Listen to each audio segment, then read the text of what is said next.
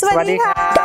สวัสดีค่ะ ยินดีต้อนรับทุกคนเข้าสู่ช่อง NBA Mania Channel นะคะ วันนี้เราทั้งสองคน แอดมินตูนกับแอดมินเอจากเพจ NBA Mania ก็มาอยู่กับทุกคนเช่นเคยค่ะ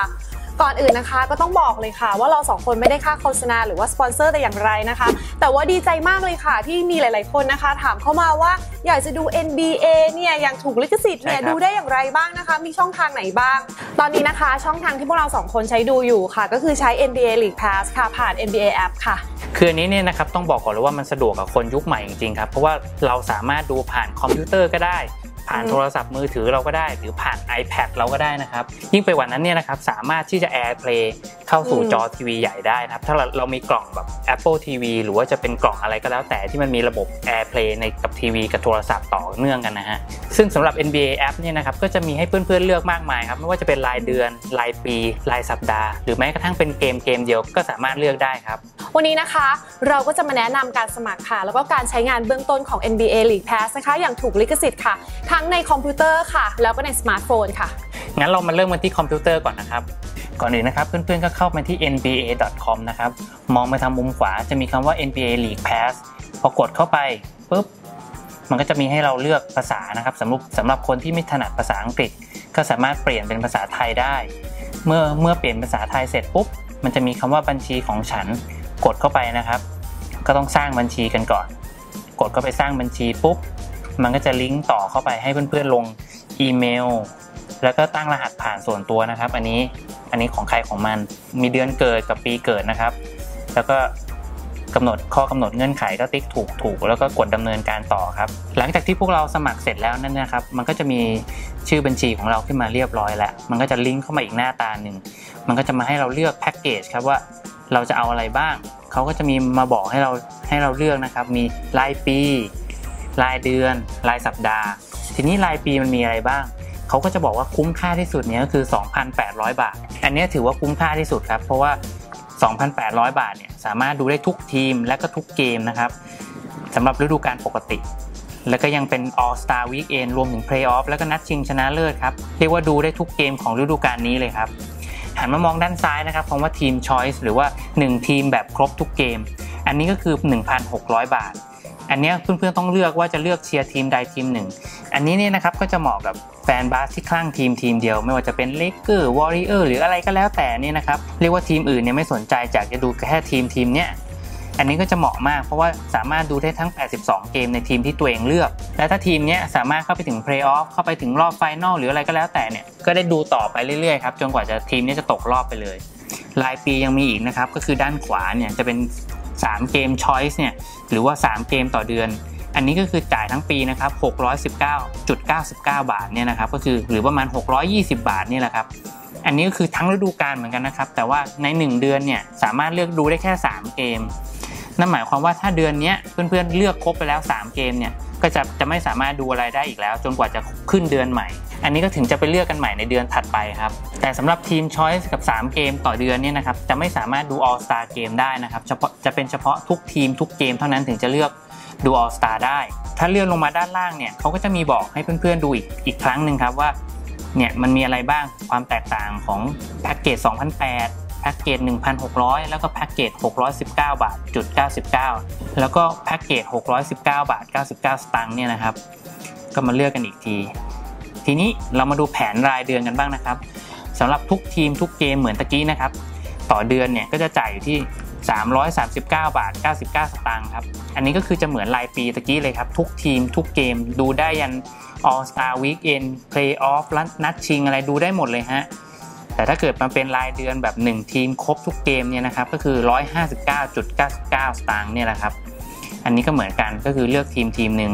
จ่ายเป็นเดือนๆไป หันมามอง 3 เกมต่อเดือน อันนี้ก็คือต่อเดือนก็คือ 61.99 บาทเนี่ยนะครับก็คือประมาณ 62 บาทนี่แหละครับเหมือนกัน 3 เกมต่อเดือนเลือกเอาจ่าย 61 62 บาทนี่แหละครับก็ดูได้เลย 3 เกม ก็จะคล้ายๆกัน อีกอันหนึงก็คือรายสัปดาห์ แผนรายสัปดาห์เนี่ยไม่มีให้เลือกครับ เป็นเป็นแบบทุกทีมทุกเกมก็คือ 119.99 บาท ก็คือประมาณ 120 บาทนี่แหละครับอันนี้ก็คือดูได้ทุกเกมครับ ทุกคู่ย้อนหลังอะไรได้หมดเลยฮะทีนี้สมมติว่าเพื่อนๆตัดสินใจและเอาไอ้อันที่คุ้มค่าที่สุดครับ ก็คือรายปี 2,800 บาทเนี่ยก็กดสมัครเลยครับ กดปุ๊บ ทีนี้พอมันลิงก์เข้ามาอีกหน้าต่างหนึ่งมันก็จะเป็นหน้าต่างว่าข้อมูลแผนและการเรียกเก็บเงินเขาก็จะสรุปให้เห็นว่า ที่เราเลือกเนี่ยถูกต้องไหม 2,800 บาทเนี่ยทุกทีม ทุกเกม ทีนี้ก็มีให้เพื่อนๆเลือกนะครับว่าจะใช้บัตรเครดิต หรือว่าจะเป็น PayPal หรือว่าว่าจะเป็น Skrill ก็ใส่เลขบัตรสำหรับน้องๆที่ยังไม่มีนะครับก็อาจจะต้องขอพ่อขอแม่นิดนึงนะครับใส่หมายเลขหน้าบัตรเสร็จ ใส่วันหมดอายุ ใส่อะไรเลขรหัส รักษาความปลอดภัยก็คือเลข 3 ตัวด้านหลังนะครับพลิกด้านหลังมันจะมีเลข 3 ตัว เมื่อใส่ทุกอย่างเสร็จก็กดส่งไปได้เลยครับแค่นี้เองครับทุกอย่างก็จะเรียบร้อย เราก็จะสามารถดูได้ทุกเกมตามแผนที่เราเลือกครับ จบไปแล้วนะคะสำหรับการสมัครผ่านคอมพิวเตอร์นะคะ ทีนี้เราก็จะมาดูการสมัครผ่านสมาร์ทโฟนบ้างค่ะ ทีนี้เรามาเริ่มกันเลยนะคะ ก่อนอื่นเราต้องโหลดแอป NBA ก่อนค่ะ iOS โหลดผ่าน App Store นะคะ ส่วน Android ก็สามารถโหลดผ่าน Google Play ได้เลยค่ะ เมื่อดาวน์โหลดมาแล้วหน้าตาแอปจะเป็นแบบนี้นะคะ เมื่อเราติดตั้งแอปเสร็จเรียบร้อยแล้ว เราก็มาสร้างบัญชีกันค่ะ ก่อนอื่นกดเปิดแอปเข้าไปที่แอปนะคะ คลิกที่มุมด้านขวาค่ะสำหรับคนที่ไม่ถนัดภาษาอังกฤษนะคะ สามารถเปลี่ยนภาษาที่ไอคอนฟันเฟืองได้เลยค่ะ เลือกภาษาเปลี่ยนเป็นภาษาไทยค่ะ พอเปลี่ยนภาษาเสร็จแล้วนะคะ เราก็มากดที่สร้างบัญชีค่ะ ซึ่งจะอยู่ที่แถบสีฟ้าด้านบน เมื่อกดสร้างบัญชีแล้วค่ะ ก็จะมีข้อมูลอีเมล รหัสผ่าน แล้วก็วันเกิดให้ใส่ค่ะ กรอกข้อมูลอีเมล รหัสผ่าน แล้วก็วันเกิดได้เลยค่ะ งั้นเรากลับมาที่หน้าแรกอีกครั้งนะคะ แล้วก็คลิกที่มุมขวาด้านบนค่ะ เข้าไปที่ NBA League Pass นะคะ กดที่สั่งซื้อตอนนี้เลยค่ะ เมื่อเข้ามาหน้านี้นะคะ ก็จะมีแพลนการดูหลาย ๆ แบบ มีทั้งรายปี รายเดือน แล้วก็รายอาทิตย์นะคะทีนี้เราก็มาเลือกแผนของเราได้เลยค่ะ ก่อนอื่นนะคะ ดูรายปีก่อนค่ะ แผนที่คุ้มค่าที่สุดนะคะ จะเป็น League Pass ค่ะ ทุกทีมทุกเกมนะคะ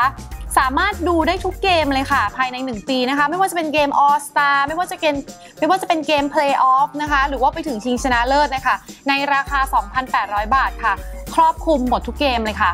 มาอีกแพลนหนึ่งนะคะ จะเป็นทีม Choice ค่ะ 1 ทีมครบทุกเกมค่ะ อันนี้จะมาในราคา 1,600 บาทค่ะเหมาะสำหรับคนที่ชอบทีมไหนนะคะ ก็คืออันนี้จะสามารถดูได้ทีมเดียวค่ะ อย่างเช่น ถ้าสมมติว่าตูนชอบทีมเลเกอร์สค่ะ ตูนสมัคร plan นี้ ตูนก็สามารถดูทีมเลเกอร์สนะคะ ได้ตั้งแต่ต้นไปยันถึงว่าถ้าเกิดเลเกอร์สเข้าเพลย์ออฟหรือว่าไปถึงนัดชิงเนี่ย ก็สามารถดูได้จนสุดเลยค่ะ แต่ว่านะคะข้อแตกต่างนิดนึงก็คือว่าถ้าเกิดเราสมัครจากในสมาร์ทโฟนค่ะ จะไม่มี plan 3 เกมต่อเดือนให้เลือกนะคะ จะไม่เหมือนในคอมพิวเตอร์ มาถึงรายเดือนบ้างค่ะตรงนี้ก็มี 2 plan เช่นกันนะคะ ก็จะมีเป็น League Pass ค่ะ เดือนละ339 บาทค่ะ สามารถดูได้ทุกทีม ดูได้ทุกเกมเช่นเดียวกันค่ะ ต่อมานะคะก็จะเป็นทีม Choice ค่ะ เดือนละ 159 บาทค่ะ เช่นเดียวกันค่ะ สามารถเลือกได้เลยค่ะ ทีมไหนที่เราอยากดูนะคะ แล้วก็สามารถดูทีมนั้นทีมเดียวค่ะ ได้ทั้งเดือนค่ะ เช่นกันค่ะ ในสมาร์ทโฟนก็จะไม่มีตัว 3 เกมต่อเดือนให้เลือกนะคะ เหมือนอย่างในคอมพิวเตอร์ค่ะ มาถึง plan สุดท้ายค่ะ รายสัปดาห์ค่ะ ตรงนี้นะคะก็จะมี plan เดียวค่ะ สัปดาห์ละ 119 บาทค่ะ ดูได้ทุกเกมนะคะ ดูได้ทุกคู่ค่ะ ดูได้ทุกวันค่ะ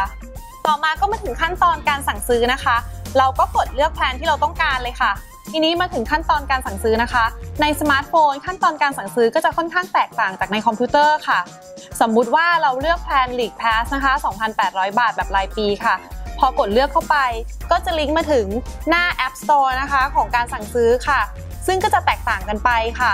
ถ้าเป็น iOS ค่ะ ก็จะลิงก์ไปที่ App Store แล้วก็จ่ายผ่าน App Store นะคะ แต่ถ้าเป็น Android ค่ะ ก็จะลิงก์ไปที่ Google Pay ค่ะ แล้วก็จ่ายผ่าน Google Pay ได้เลยค่ะทีนี้สำหรับเพื่อนๆ ที่สะดวกจ่ายเงินวิธีการอื่นนะคะ ก็แนะนำให้ไปสมัครผ่านคอมพิวเตอร์จะสะดวกกว่าค่ะ แต่ถ้ามีบัญชีของ Google Pay หรือว่า App Store อยู่แล้วค่ะ ก็สะดวกดำเนินการได้เลยค่ะ ก็จะค่อนข้างสะดวกนิดนึงค่ะ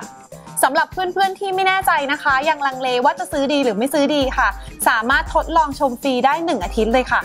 หรือสุดท้ายแล้วเนี่ยนะครับถ้าเกิดเพื่อนๆยังตัดสินใจไม่ได้ว่าจะเอาแพ็กเกจไหนรายปีรายเดือนรายสัปดาห์ราย 3 เกมต่อเดือนหรืออะไรก็แล้วแต่เนี่ยที่เพื่อนๆยังตัดสินใจอยู่อะยังคิดไม่ออกไม่เป็นไรครับทาง NBA เขาก็เตรียมไว้รอสำหรับคนพวกนี้ไว้แล้วฮะนั่นคือเลือกซื้อเป็นเกมค่ะสมมุติว่าพรุ่งนี้นะครับอย่างคู่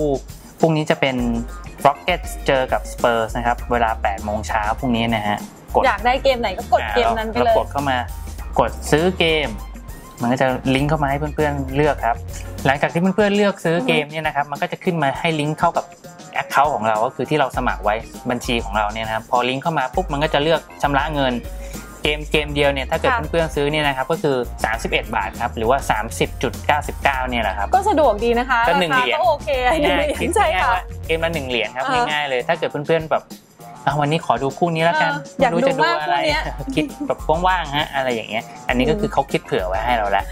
แล้วสำหรับคนที่ยังไม่อยากเสียเงินนะคะมินเน่และยังไม่แน่ใจเลยอะค่ะใน NBA app เนี่ยสามารถทำอะไรได้อีกบ้างคะครับคือจริง ๆ แล้วเนี่ยนะครับตัวแอปของเขาเองเนี่ยเขาก็จะมีไฮไลท์ครับมีสถิติอือฮึมีสรุปว่าใครทำแต้มมากเท่าไหร่ ใคร rebound มากเท่าไหร่เปอร์เซ็นต์เป็นยังไง เรียกว่ามีทุกอย่างครับ เพียงแต่ว่าเราไม่สามารถดูเต็มเกมได้แค่นั้นค่ะเอง แล้วเขาก็จะมีไฮไลท์สั้นๆครับประมาณ 1 นาทีไม่เกิน 2 นาทีอือฮึเนี่ยนะครับเอามาให้พวกเราดูเป็นสรุปฮะอืมอันนี้ก็คือสำหรับคนที่ยังไม่อยากจะซื้อนะครับยิ่งไปกว่านั้นเนี่ยนะครับเราสามารถลิงก์เข้าไปดูได้ครับว่าตอนเนี้ยทีมที่เราตามอยู่เนี่ยทีมที่เราชอบทีมที่เราเชียร์เนี่ยอยู่อันดับที่เท่าไหร่แล้วอ่าเลือกสามารถเลือกเป็น conference ก็ได้ครับเป็นอืมสายตะวันตกสายตะวันออก หรือจะเลือกเป็น division ครับก็คือ division ละ 5 ทีมเนี่ยดูได้หมดเลย แพ้ชนะเกมอือฮึตามหลังอะไรยังไง มีหมดฮะละเอียดทุกอย่าง อันนี้ก็คือแบบว่าครบวงจรอืมอยู่ในที่เดียวเลยอันนี้นะคะดูแล้วค่ะเป็นวิธีที่สะดวกที่สุดเลยค่ะใช่ครับง่ายที่สุดนะคะ แล้วก็ละเอียดมากๆเลยค่ะ คือได้ข้อมูลครบถ้วนจริง ๆ ค่ะ ใช่ครับยิ่งไปกว่านั้นนะครับการถ่ายทอดเนี่ยครับมันเป็นภาพระดับอือฮึ HD ครับก็คือชัดเป๊ะเลยฮะทุกอย่างเนี่ยขึ้นอยู่กับสัญญาณอินเทอร์เน็ตของเราเองอือฮึ ถามว่ามันมีปัญหาบ้างไหมฮะมันเคยมีนะครับแบบแบบอย่างเช่นกำลังดูอยู่แล้วมันมันล่มเนี่ยคืออันนี้มันเป็นระบบของเขาซึ่งมันเกิดขึ้นน้อยมากฮะอันนี้ไม่ต้องกังวลพูดง่ายคือเราสามารถดูได้แบบครบอรรถรสไม่มีสะดุดเลยฮะ